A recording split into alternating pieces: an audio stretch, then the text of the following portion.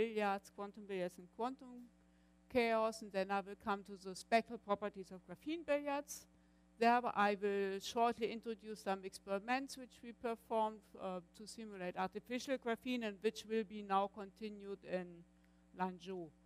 And then I will speak about spectral properties of neutrino billiards and uh, trace formula. And then I will come to an outlook if there's still some time left. So here I show two examples of billiards. One is um, an integrable one is a rectangular billiard is an integrable one. Africa billiard is a chaotic one. That is due to exponential instability of the dynamics after some time. Uh, the motion becomes unpredictable. And um, the correspond the eigenvalues and eigenwave function of the corresponding quantum fields are obtained by solving the free space Schrödinger equation with Dirichlet boundary conditions. And um, we are interested in, um, pop, uh, in quantum chaos, and one central question of the, in the field of quantum chaos is how these properties of irregular or chaotic dynamics become visible in the properties of the corresponding quantum system. And one um, aspect of quantum chaos is the understanding of the features of a classical system in terms of the fluctuation properties in the eigenvalue spectrum of the corresponding quantum system, and this is what I will talk about.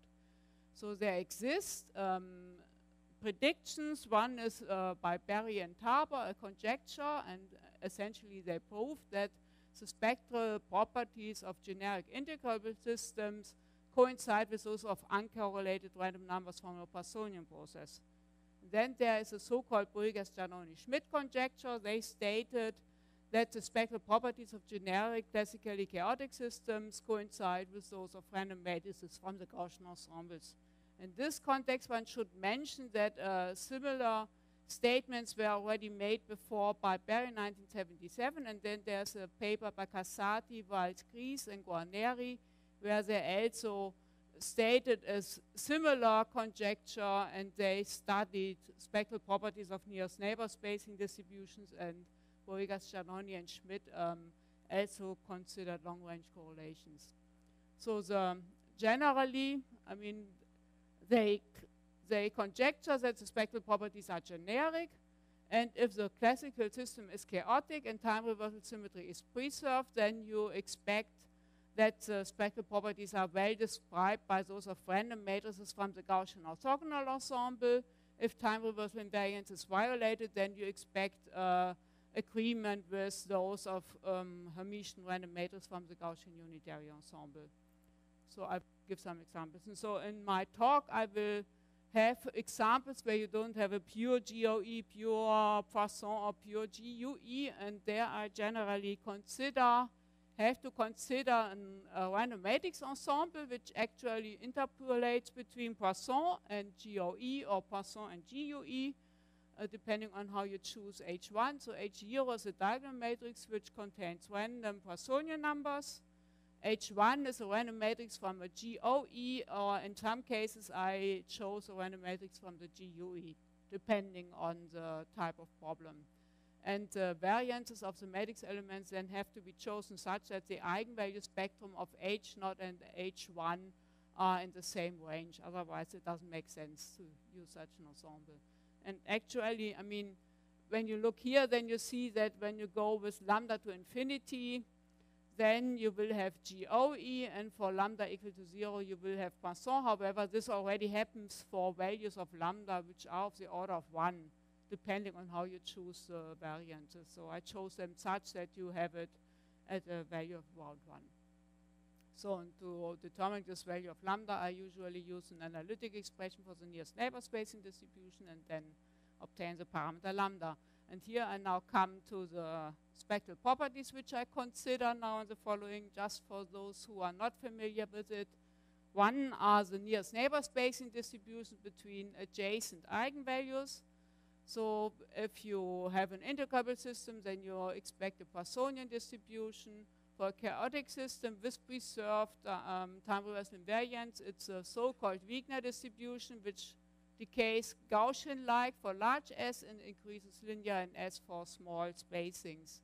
and for the GUE it increases uh, like a square. So this is a main difference between these two ensembles and how you can um, distinguish between both. So and there are other quantities, long-range correlations. One is a number variance, sigma 2, and the other one is the delta 3 statistics, which gives the least mean square deviation of the number of levels in an interval L from a straight line best fitting it. And here one has to unfold eigenvalues, that is one has to make sure that the uh, spectral density is uniform. This is what I will always assume when I show these results. So just to show some examples, I mean, this is a rectangular billiard, um, and you see it, the nearest neighbor spacing distribution, integrated nearest neighbor spacing distribution are very close to Poisson. This curve is GOE, the full line, and dashed dotted line is GUE.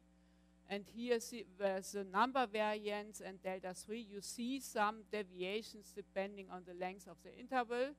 And this is, I mean, actually it's very difficult to get a perfect Poisson for rectangles you have to choose a ratio which is a rational number and uh, you have to compute like several 100,000 levels. Here I just chose 10,000. And this and here I show an example of the spectral properties of Africa billiard. It agrees very well with GOE, both in short range and long range um, correlation. So this is all I wanted to say to the classical and quantum billiards. Now I come to graphene billiards. Now what is graphene? Graphene is a monolayer of atoms which are um, arranged on a hexagonal lattice. This hexagonal lattice is actually built up by two independent triangular lattices. Um, this leads to a, a, band structure which actually made graphene so um, famous. I mean, here I show the valence and the conduction band and um, the both bands touch each other conically at the six corners of the first Brillouin zone. So that is in the vicinity of these um, cones of touch points, the um, uh, dispersion relation is, um, is linear. I mean, here it's plotted versus the energy is plotted versus uh, quasi-momentum vectors, and the distance from the um, from these touch points, it goes conically the vicinity of these cones. And this has a um, important implication, namely in the vicinities of these touch points, you can describe the system by the Dirac equation of massless fermions.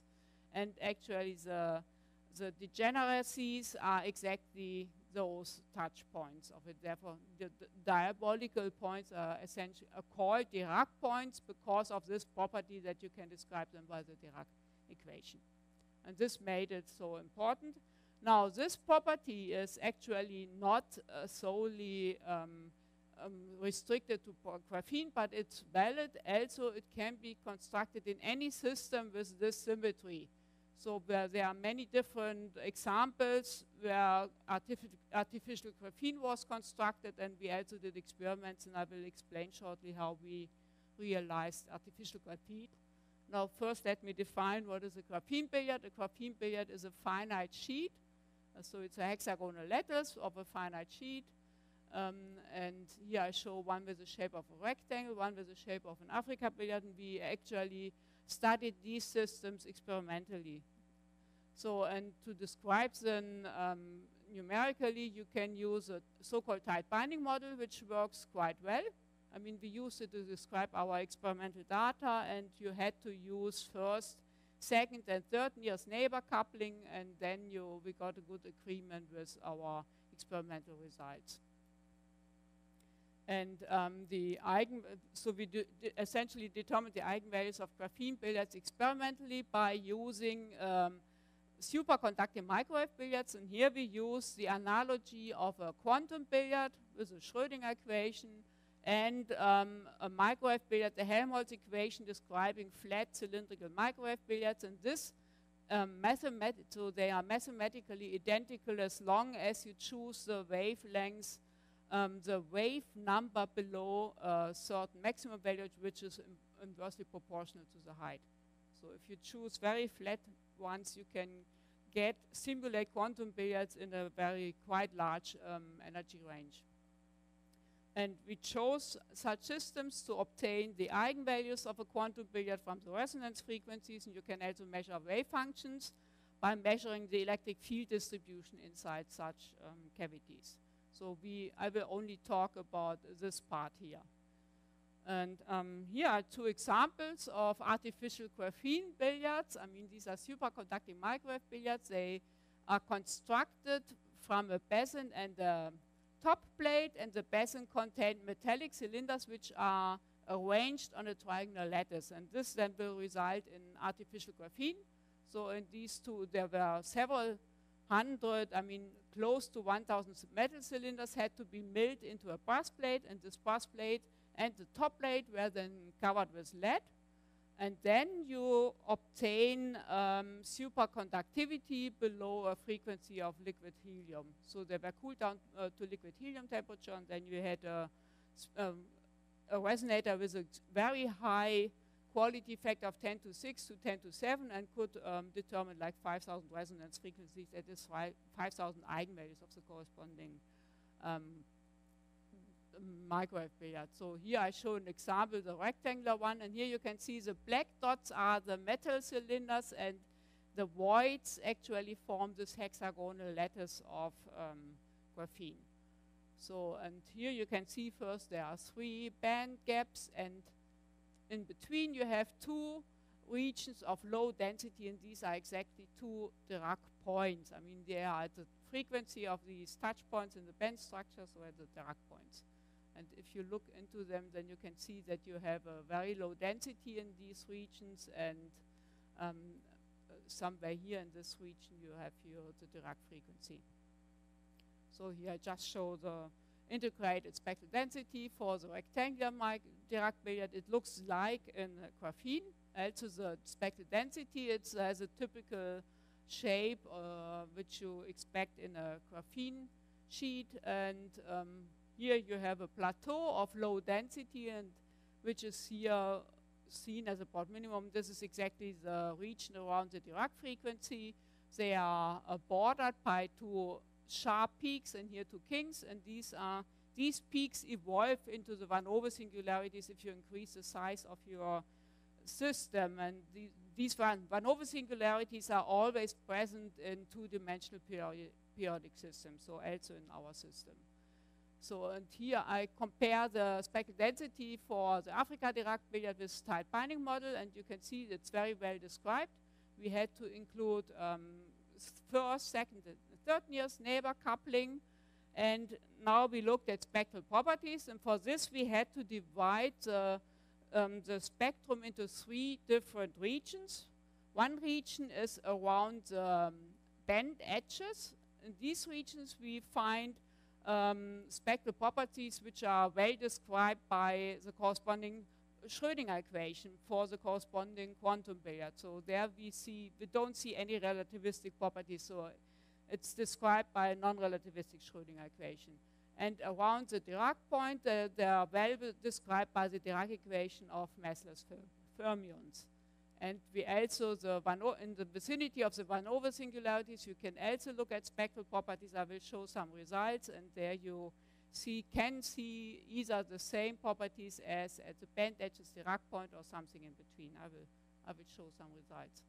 So here I just show the spectral properties for the rectangular and Africa-shaped Dirac billiards, and for the rectangular shape, you find something which is very close to Poisson. In this case, you even find a good agreement for delta 3 up to larger lengths, even though these were like 150 eigenvalues. So in the vicinity of the Dirac points, you have a low density, and so you don't have many eigenvalues there. And this is the result for the Africa-shaped billiard, which is, agrees very well with GOE. So now the question was whether the spectral properties of a graphene billiard are also determined only by the shape of the billiard. And the answer is no. I mean, at this point, we stopped experiments in Darmstadt. And so the, what I will show to you now were all numerical results. And we looked at properties of circle sectors. I mean, if you look at a circle sector billiard, it's an integrable system. You can obtain the eigenvalues are given by the Bessel functions, where the index of the Bessel function depends on the angle of your sector billiard. And the wave functions are also, you can write down everything explicitly. And when you look at the spectral properties, you see something very close to Poisson and the nearest neighbor spacing distribution. Here you see deviations which are typical also for circular billiard. There again, it's quite difficult to um, to obtain a perfect Poisson in the long range correlations. And here I show now numerical results for the 15 degree sector graphene billiard. I mean, here I show wave functions in the vicinity of, of the band edges. They look similar to what you get in a um, quantum sector billiard, and also the spectral properties are close to Poisson. And I, I don't show the long range correlations, but there you find similar results. And this is generally what we found for any graphene billiard. As long as you stay in the region of the band edges, you will always find the same results as you would find in the corresponding quantum billiard. Now, in the vicinity of the van Hove singularities, you find something which is somewhere between Poisson and GOE, and there one can now apply the Swanomatics ensemble, which I introduced to you and of course, you also see clear deviations in the wave function. This is expected because at some point the lattice structure should uh, prevail itself because you, you know that van Hove singularities in the Dirac point are due to this um, lattice structure. So this is expected that you will see deviations from what you see in the, at the band edges, but it was not clear that you will see um, something which is closer to GOE than to Poisson because the shape is the shape of an integrable system. And when you go to the Dirac point, then you find a very good agreement with GOE. So in this case, um, the, the shape doesn't seem to play, play the important role, but it's the, um, the structure of the band edges, which actually lead to varying boundary conditions uh, for along the edges for the two triangular lattices. You have a question?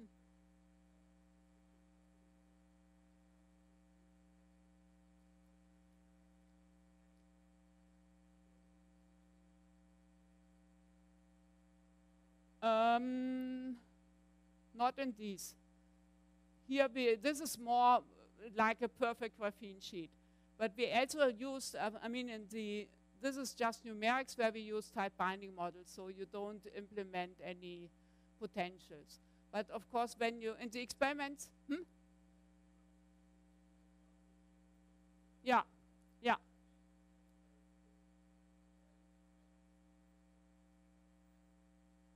Yeah, but uh, we don't see implication of symplectic ensemble, but we see GOE instead of GUE because you have this backscattering, so in this sense.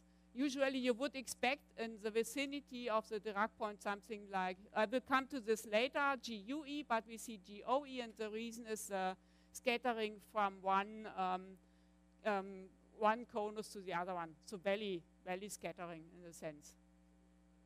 Yeah, exactly. But we don't see symplectic. But we can discuss later because I'm interested in that. Um, here's just one more example. This was a 60 degree circle uh, sector and here you see something which is Poisson in the vicinity of the band edges. Here we have a, here it ends with two zigzag edges, here with two armchair edges, and you see Poisson in the vicinity of the band edges, and you see 2 GOE in the vicinity of the Dirac point.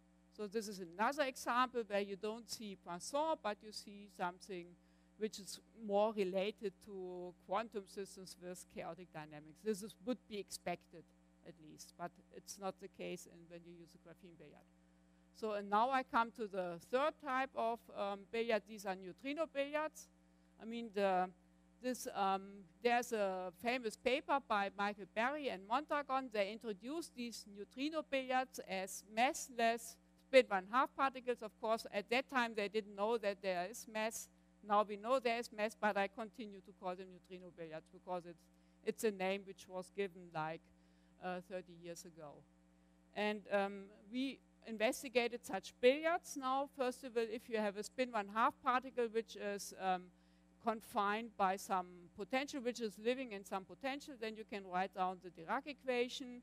And here you already, you can show that this Dirac Hamiltonian is not invariant under time reversal, um, under time reversal if this potential V doesn't have uh, any symmetries and if it's non-vanishing. So if you have a potential which produces a classically chaotic dynamics in the corresponding Schrödinger billiard, then you expect GUE statistics in such systems instead of GOE. That's why I said that in a graphene billiard in the vicinity of Dirac points you would expect uh, GUE, but you don't see it because of these intervalley scattering. So we looked at such systems. I mean, what you have here, you have your Hamilton equation. Um, yeah, your Dirac-Hamilton Hamiltonian is given in this form. These are the Pauli matrices, this is a momentum, and um, you can now choose any parameterization of the plane. And we are looking at billiards, so depending on the shape of the billiard, you can use different types. One example is um, such a parameterization which you can use if your the shape is produced by a conformal mapping of the circle. And then you can write down the Dirac equation, and in all cases, either in this case or in more general coordinates, you will find solutions which are given in terms of plane wave expansions, essentially. And you can see here, so psi 1 is given by this equation, and psi 2 is distinguished by psi 1 only by this additional phase. You have an additional L plus 1 and another additional phase. Here, e to the i chi is just this uh, wz divided by, by the absolute value. So this you can write down very generally, and now you can use such an ansatz to obtain the eigenvalues of a neutrino billiard. For this, you first have to define boundary conditions. I mean, boundary condition is you want to have a bounded system, so you expect real eigenvalues with the Hermitian Hamiltonian. So you should require that uh, Dirac Hamiltonian, after imposing boundary conditions, should uh, still have the property of self-adjointness. And this is realized by requiring that the normal outward current is equal to zero. So here I just show one example of an Africa billiard. You see that the current is tangential to the boundary and you don't have any normal outgoing um, current. And this boundary conditions um, leads to a relation between the two components of your pseudo-spinor. So they are related by a phase, and this e to the i phi is just the alpha phi is just the angle of the normal vector with respect to the x-axis. So, and you can write it down in the complex um, coordinates, complex plane coordinates, and it's given by this term here. So this relates both of them, and this is the only boundary condition you have. And uh, for a neutrino billiard with a circular shape, you can write down analytically the solutions. I mean, the, the eigenvalues are given by such an equation, so you don't have zeros of a Bessel function, but you have a relation between Bessel function JL and JL plus 1. So if they are equal, then this corresponds to an eigenvalue of your circular billiard. You can write down the solutions for the first and the second component. They are again given by some here's an I miss, uh, no, it's correct, yeah by these two wave functions. And yeah, so that's uh, for circle billiard. And generally, there's one more important thing, namely when you have a neutrino billiard with a which has one mirror symmetry, then this does not imply that you can separate your wave functions into wave functions corresponding to Dirichlet or Neumann boundary conditions or corresponding to two types of symmetries. This is no longer possible in a neutrino billiard because I mean the boundary conditions are not fulfilled by if you would do such. They don't commute with the mirror symmetry in a sense. So this is one important difference between neutrino billiards and quantum billiards. However, if you have a mirror symmetries with respect to two uh, perpendicular axes, then this is like a two-fold symmetry, and then you can um, separate your Hamiltonian into two blocks, or if you have an n-fold symmetry, into n blocks. So this you still have, but only no mirror symmetries. To see the implications, I just showed one example. It's a rectangular billiard. This is a rectangular quantum billiard. I mean, you have your chessboard um, structure. And now when you go to the neutrino billiard, then you see you don't see any structure. In this case, you see some structure, but you already see that it doesn't fulfill uh, Dirichlet boundary conditions. And this is a corresponding current which can look quite complicated, but still, for when you look at the spectral properties of a neutrino rectangular billiard, then it's still uh, Poisson. This is shown here. Here I chose a rectangular neutrino billiard with 10,000 eigenvalues, and you find agreement with Poisson, and here, like in the quantum case, you see deviations in the long-range correlations, which will become smaller and smaller when you choose more and more eigenvalues. And for the Africa billiard, you find a very good agreement with um, GUE. Here I again chose 10,000 eigenvalues.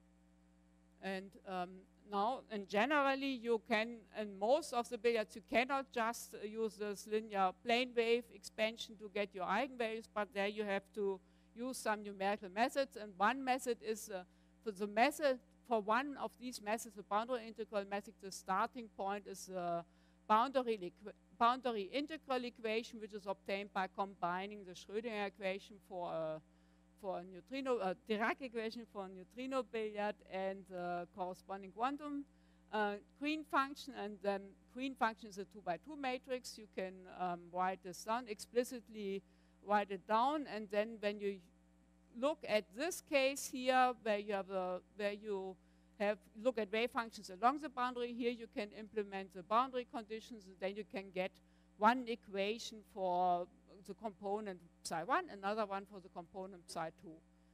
Now, um, just to compare with the corresponding quantum system, you find similarities if you look at not at a, a Dirichlet or Neumann case, but at Robin boundary conditions. I mean, Robin boundary conditions means that you have not psi equal to zero, not dm by d psi equal to zero, but a combination of both should be equal to zero. And then, then when you compare the corresponding boundary integral with this one, then you can see that they become very sim that they are the same except for here an additional imaginary part if you choose for gamma of phi just equal to k. So independent of the boundary, but um, proportional to k. So now um, to obtain the eigenvalues, we use the boundary integral. And um, here we use a combination of psi 1 and psi 2 because this, I mean, for psi 2 you simply have to use the boundary conditions, then you get a boundary integral equation which doesn't have any singularities. That's a nice thing about this method. And this was all already um, by Michael Berry and Mondragon already um, wrote this down, the corresponding equation. And then you will find one which is um, where the integrand is zero at the singularities of your H0 and H1. The prefactor is zero and vanishes faster, so you don't have any problems with these singularities, which makes everything simpler than in a quantum billiard. And here I first show some results for Robin boundary conditions because just to show that when you use Robin boundary conditions in a sector billiard, you will never find something which is close to GOE, you will find deviations from Poisson, but they are not really large. So I tried different types of boundary conditions, and um, you, you don't find something close to GOE. And when you look at the random matrix ensemble, then you, you find that lambda is of the order of 0.12, which means that you are very close to Poisson. On the here, some wave functions, these are just distorted um, uh, wave functions of a quantum billiard.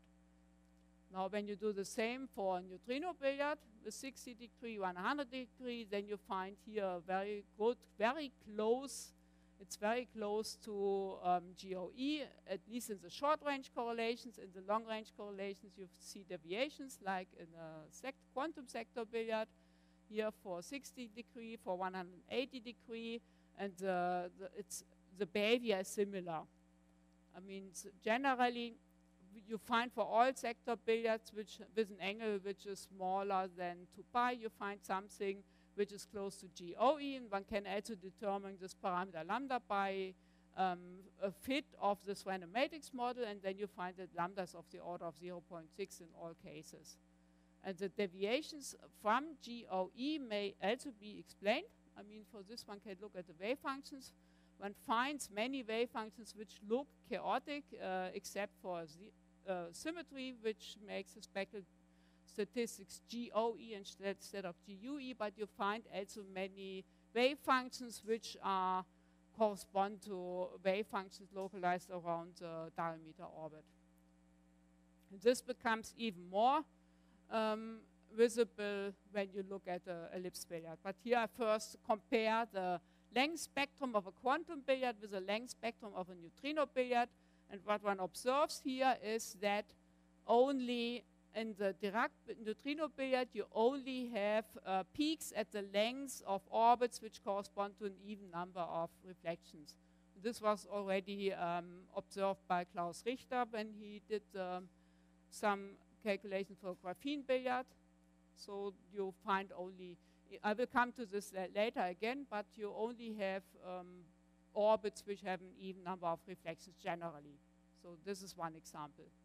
And now I come to an ellipse. So this was the second we observed. I mean, when you look at an ellipse, then you know the full ellipse, half ellipse, quarter ellipse, uh, classical dynamics is regular, and everywhere in between you have uh, chaoticity.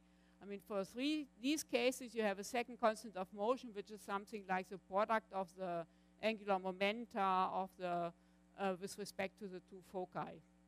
And, um, and the otherwise, you find uh, mixed regular chaotic dynamics here. I show one example for an angle of 60 degrees. So you have very tiny um, islands of regularity when you look carefully. So we just got this. And here I just show results for ellipses with a large eccentricity, another one with a small eccentricity, where small eccentricity means that you are close to a half circle, to a circle yeah, in this case to a half circle because we are at 180 degree.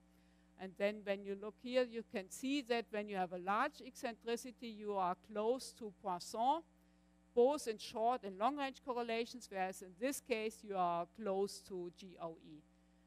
For small eccentricity, that is when you are close to a circle.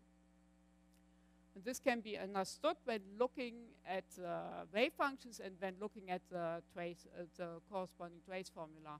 I mean, here I show for large eccentricity, you will have many wave functions which look like that. So here I only show, show the results for the first component, for the second it's uh, similar. So you have, in this case, you see many wave functions of this type and some whispering gallery type and some which look a bit chaotic. Whereas when you go to small eccentricity, you find many which look chaotic and some which seem to be uh, localized along the diameter orbit. So in this case, you find many wave functions which, see, uh, which are like the libration, like modes um, which co would correspond to libration in the corresponding classical billiard. And these are better described by rectangular so it's similar to what you see in a rectangular billiard. And there's the whispering gallery modes like this one or these are correspond to um, whispering gallery-like modes in the regular case. And with increasing eccentricity, that is when you go from here to here, then the region, the region of libration increases, so you see more and more wave functions of this type, and in the end you will see something which is clo much closer to Poisson than in the case of small eccentricity. So here I show two other examples. One is a 60 degree ellipse sector. There you expect GUE because the classical dynamics is chaotic and you indeed find GUE. And I compare it here to the 90 degree, so to a quarter ellipse where, which is regular, you would expect um, GOE, but here you again find something which is close to um, GOE. And in this case, the eccentricity doesn't play any role because in this case you don't have the problem with these uh, modes. So they are much smaller.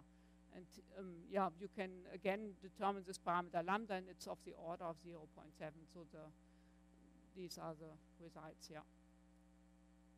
And when you look at the length spectrum, you again find only orbits in the neutrino billiard, you again only find um, peaks at the length of periodic orbits which have an even number of reflections. So just to summarize this part, what, what did we do? We looked at a quantum billiard, which is, with, the classical billiard is integrable. We looked at a quantum billiard. We looked at a graphene billiard in the vicinity of the band edges, in the vicinity of the Dirac point. Here you find GOE and the same when you look at the neutrino billiard, you find something which is um, GOE for quarter, half, and for a quarter and a half.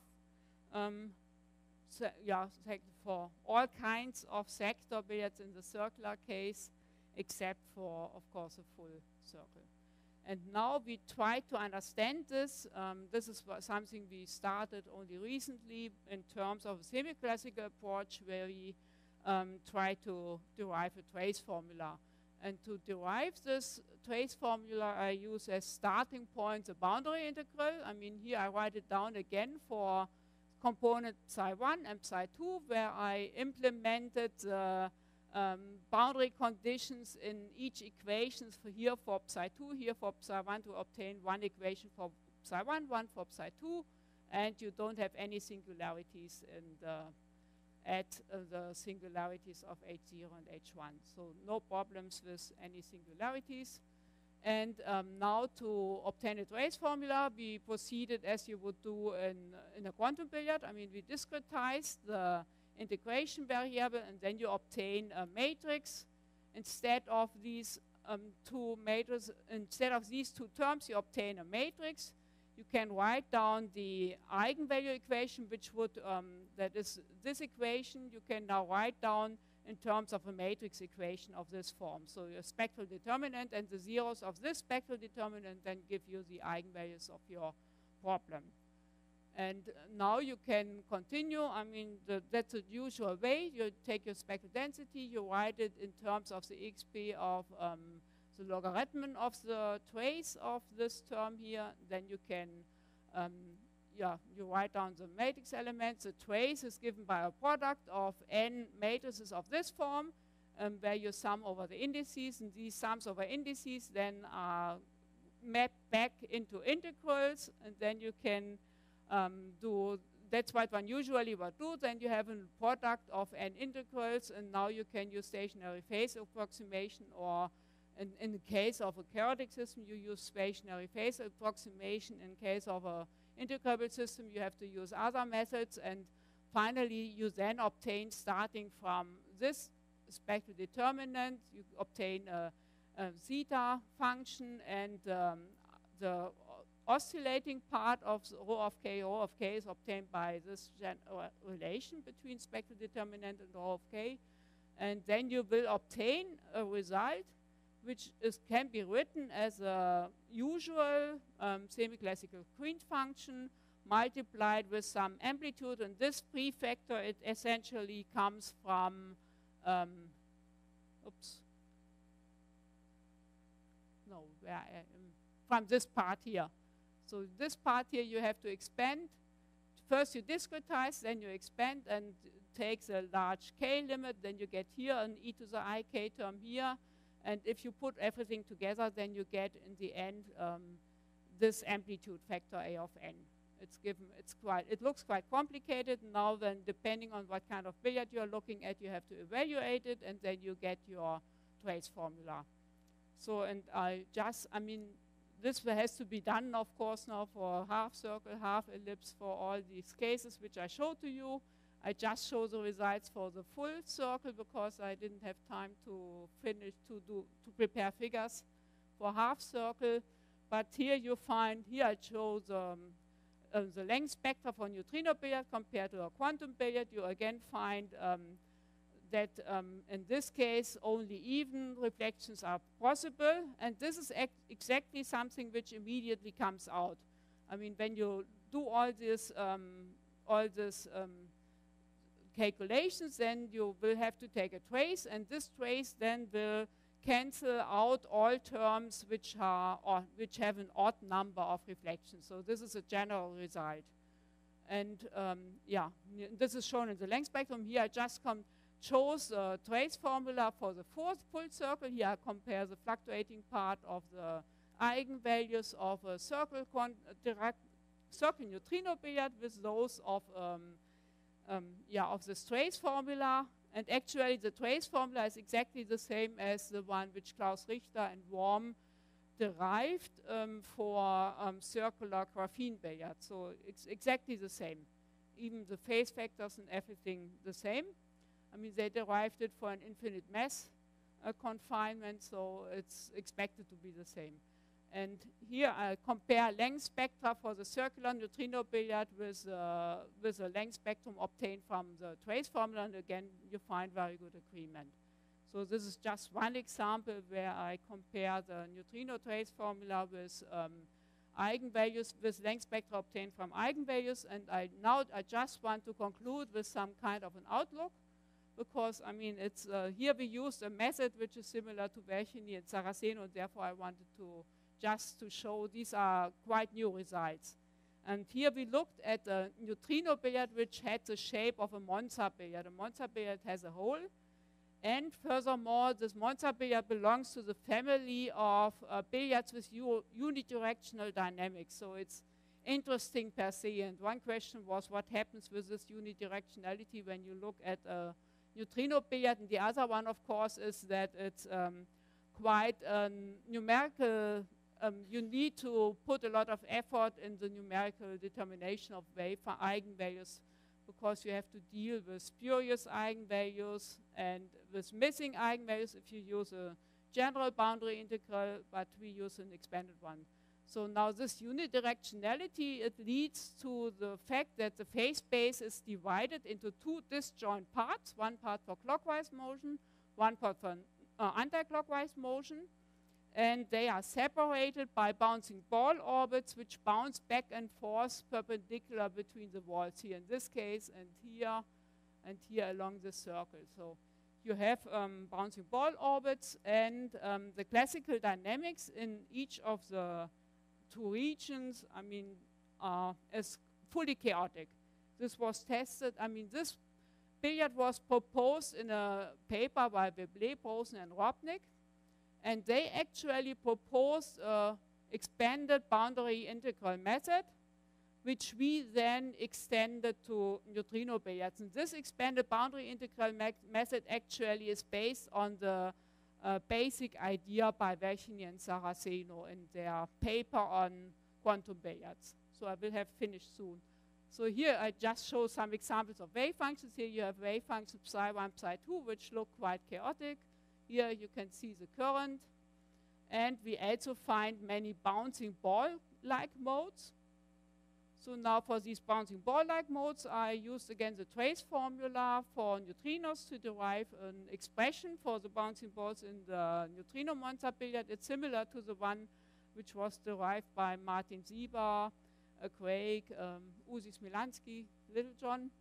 So for stadium billiard, it's ex exactly the same except that you have to, here you put, of course, the length of the boundary where you have these bouncy ball orbits, and this RD is just the width of your Monza billiard, and you can see that they very well describe the um, uh, fluctuate or slow oscillations in the fluctuating part of the eigenvalues of um, the Monza billiard and the, also the length spectrum. You can see that bouncy ball modes have a very a big influence uh, for small lengths and then um, they somehow disappear.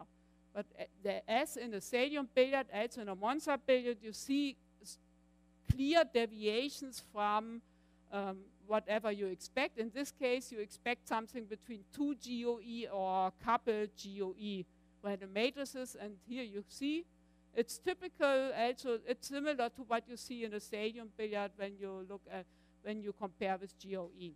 But when you now take out these bouncing ball orbits by just using the trace formula, then you find a very good agreement with T2 GOE.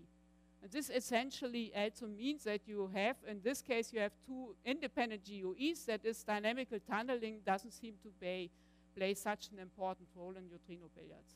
So thank you for your attention.